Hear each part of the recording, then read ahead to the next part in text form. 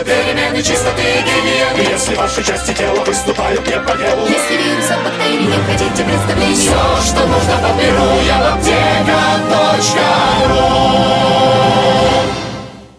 В субботу, в последний день 2016-го, в Самарской области пасмурно пройдет небольшой снег. Днем минус 5, минус 7 градусов, ночью также 5-7 ниже 0. Ветер юго-западный, скорость 5-7 метров в секунду.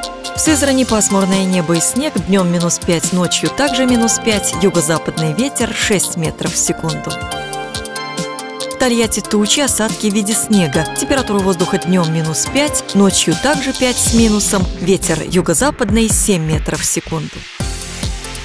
В Самаре пасмурно и без осадков, днем минус 6 градусов, новогодней ночью минус 7 и снежок, ветер юго-западный 6 метров в секунду. Атмосферное давление 750 миллиметров ртутного столба, влажность воздуха 85%, малая геомагнитная буря.